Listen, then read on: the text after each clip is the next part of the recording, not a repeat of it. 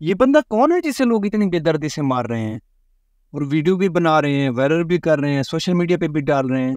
आप इस बंदे को जानते हैं? यकीन मानिए आप इस बंदे को जानते हैं। क्या ये जो प्रेस कॉन्फ्रेंसेज करवाए जा रहे हैं, ये पाकिस्तान की तारीख में पहली बार हैं? माजी में इस किस्म के प्रेस कॉन्फ्रेंसेज नहीं हुए क्या? या मुस्तकबिल में नहीं होंगे? ये आप सुन लें। दर बदर, आज शबाज शरीफ कहता है कि मैं जानता नहीं हूँ। शबाज शरीफ साहब, मैं आपका चैलेंज कबूल करता हूँ।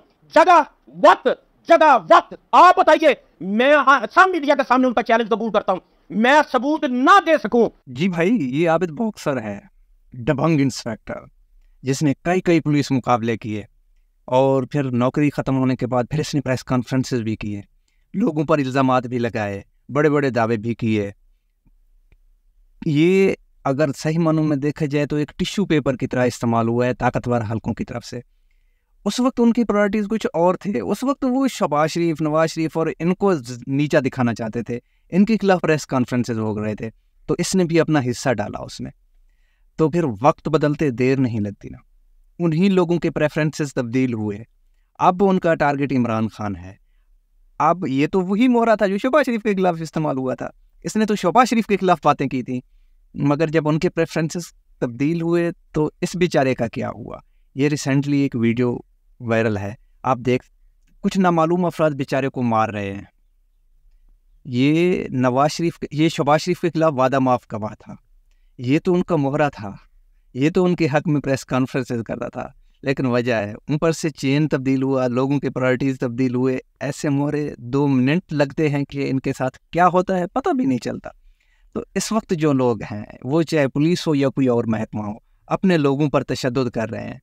अपने लोगों को मार रहे हैं, चादर, चार दीवारी का तकदस पामाल कर रहे हैं। किसके हाथों इस्तेमाल हो रहे हैं? पता भी आप लोगों को नहीं चलना, कब इनके प्रायोरिटीज तब्दील हो जाने हैं।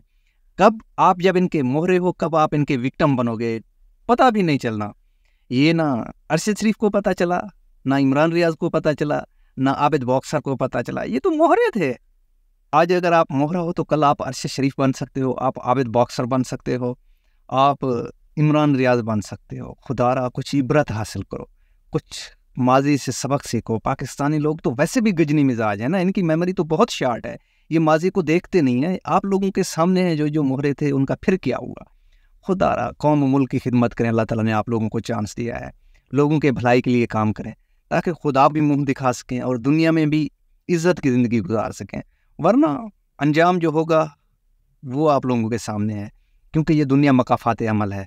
और ये जो घड़ी जिस तरह से चल रही है ना ये फिर सुई घूमते हुए कब आप तक पहुँच जाए, आप लोगों को पता भी नहीं चलेगा। इस वक्त मुझे ज़्यादा दीजिएगा। Thank you Allah.